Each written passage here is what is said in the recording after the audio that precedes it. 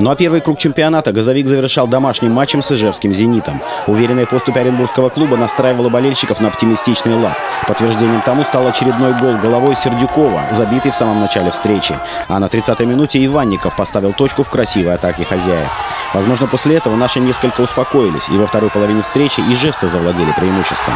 Во всяком случае, территориальным, так как по-настоящему опасные моменты у наших ворот они так и не соорудили. А когда шло уже компенсированное время, в центральном круге ошибся защитник «Зенита», чем незамедлительно воспользовался Аксютенко. Он вышел один на один с вратарем гостей и спокойно покатил мяч в угол.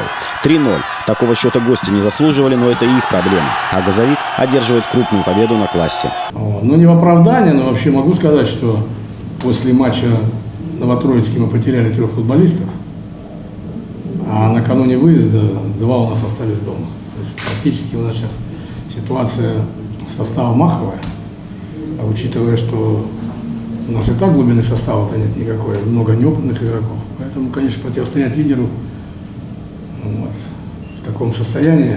Мы забили гол очень быстро, да, и в целом-то, если говорить про первый тайм, сыграли очень даже хорошо.